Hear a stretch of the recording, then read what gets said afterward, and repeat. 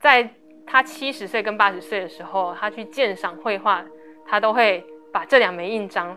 它蛮大的哦，都盖在这个画的正中央。那在这次的人气国宝展，其中一件作品上也有这两枚印章的其中之一，观众可以去找找看。我是胡卢文，现在是国立故宫博物院器物处的助理研究员，也是这次人气国宝展的策展团队成员之一。今天我们首先要讲的是在南院人气国宝展展出的一套乾隆皇帝的印章。乾隆皇帝，大家对他的印象就是他非常喜欢盖印章，最有名的就是在《富春山居子明卷》上面。印章是盖到连一点的空间都没有，大家不知道有没有想过，乾隆皇帝的印章真正长成什么样子呢？那个实体的印章今天很难得的就展出了一套，在绘画上许多的古画上都可以看到。它的印文呢，第一个是古稀天子之宝，第二个是八珍茂念之宝，这两枚印章。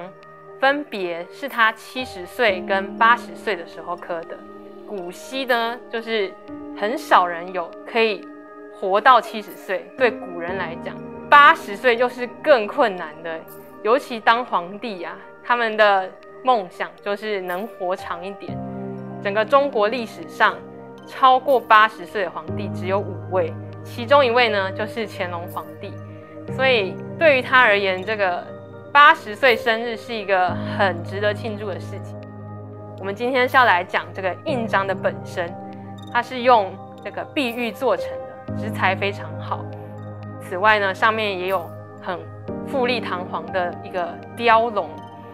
然后装在一个很高级的楠木匣里面。这个楠木匣上当然一定得刻满了乾隆皇帝的文章。显示他这个皇帝呢，作为一个圣王又得以长寿这件事情，他是感谢上苍，而且呢非常开心。不过啊，根据我们的研究，这两枚印章因为它是用碧玉做成的，所以这两枚印章的边角是很锐利，也就是说，它可能不是真正盖在古画上的印章，而是。在清宫里可能有石头做的古稀天子之宝跟八珍茂念之宝，是真的可以盖的。另外呢，还有一个很特别的是，很少皇帝像乾隆皇帝这样刻了这么多私章，因为在古代的官方文书上是有关系的。乾隆皇帝尤其是非常热爱书画鉴赏的一个皇帝，那我们的这一组印章就是反映出。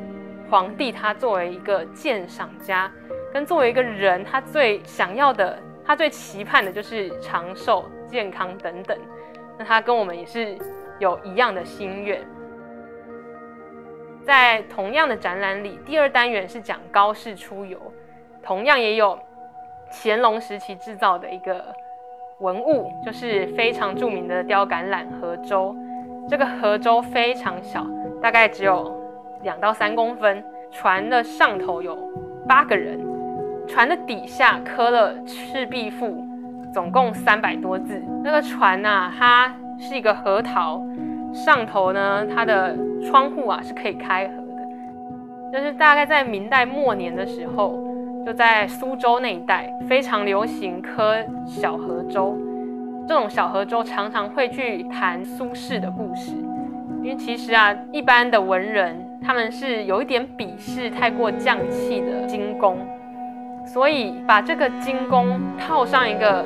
文人的故事，就让这个艺术品的等地啊，或者是它的品质，好像升等了这样。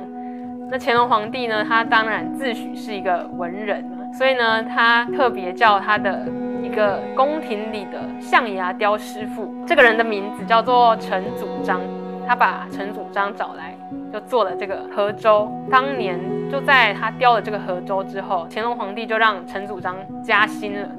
因为这个好像表现出了乾隆皇帝作为一个文人，好像可以跟苏轼遥相唱和的一个实际上看得到的文物。那这件作品现在也在南院和另一件同样是河州雕刻的作品放在一起，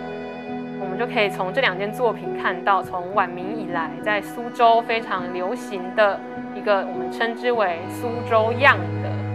和雕呢，两个作品可以互相辉映，很难得可以同时展出，所以非常欢迎各位观众可以到展场去观赏。